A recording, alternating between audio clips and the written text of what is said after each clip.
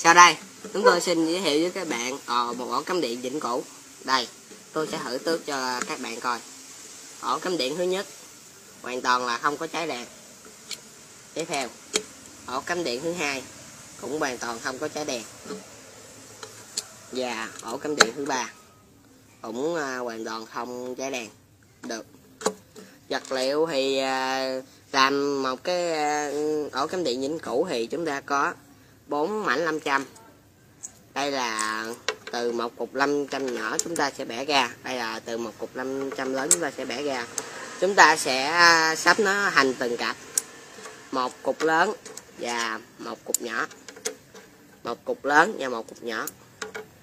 Chúng ta cần hai cái lo. Đây chính là lo điện thoại nhưng nhớ là phải lo toàn. Lo vuông là không được. Để à, cách tiến hành là như sau đầu tiên các bạn sẽ lấy hai cục 500 này. Các bạn sẽ lấy hai hai cục 500 này, các bạn để ở đây và vị trí này. Sau đó, đây. Đây là 500 bự và 500 nhỏ. 500 địch bự thì các bạn để ở bên hướng bên phải. 500 nhỏ thì để bên hướng bên trái. Và cái này thì ngược lại.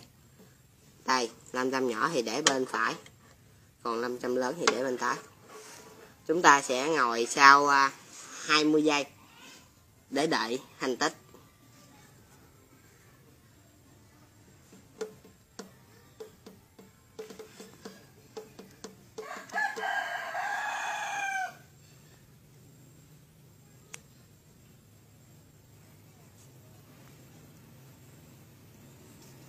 hai mươi giây là kết thúc. Bây giờ các bạn hãy xem, tôi thử nghiệm nó đã sáng đèn.